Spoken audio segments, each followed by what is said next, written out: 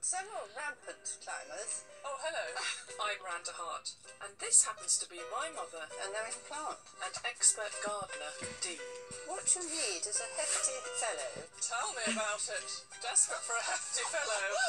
This summer, Enormous. she's peeking over the hedges, Good gracious. taking some exclusive tours, Isn't it Trachelospermum? Talking dirty to me, Dee. and meeting the green-fingered enthusiasts oh. who want to prove themselves worthy of a mention in this little yellow book. I'm not entirely sure what to expect. A brand new series, All Gardens Great and Small, starts Monday at 9 on More 4.